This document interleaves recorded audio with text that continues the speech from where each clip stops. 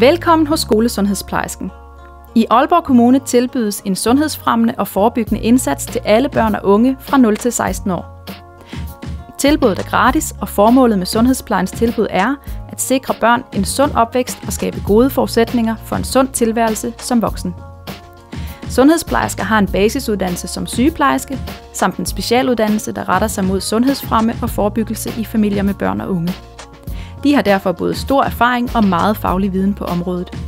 Både om sundhedssygdom og børns generelle trivsel. Indsatsen, der tilbydes i skolen af en skolesundhedsplejerske, er målrettet skoleelevens sundhed, sygdom og trivsel på bestemte klassetrin og efter behov. Brugen af sundhedsplejersken kan derfor variere. Ligeledes kan sundhedsplejerskens opgave også variere alt efter hvor gammel dit barn er og de behov dit barn har, ligesom spørgsmålene omkring barnets udvikling ændres jo ældre dit barn bliver.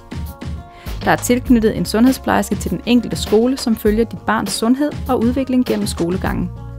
I de mindre klassetrin deltager forældrene også i sundhedssamtaler og undersøgelser ved sundhedsplejersken.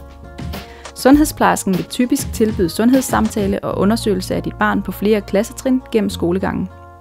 Blandt andet holdes der øje med, om dit barn ser og hører normalt og vokser som det skal. I sundhedssamtalerne med dit barn vil sundhedsplejersken have fokus på at styrke barnets egen sundhed, viden og råd om sundhed. Sundhedsplejersken henvender sig til jer, hvis hun finder tegn på sundheds- eller helbredsproblemer hos dit barn. Desuden vil sundhedsplejersken på enkelte klassetrin tilbyde undervisning i form af sundhedspædagogiske aktiviteter til hele klassen eller til en mindre gruppe af elever. Du kan som forældre også selv kontakte dit barns sundhedsplejerske. Det kan være, at du har lagt mærke til, at dit barn er meget trist, er urolig eller har vægtproblemer, eller har været udsat for alvorlige ting, som har betydning for, hvordan dit barn har det.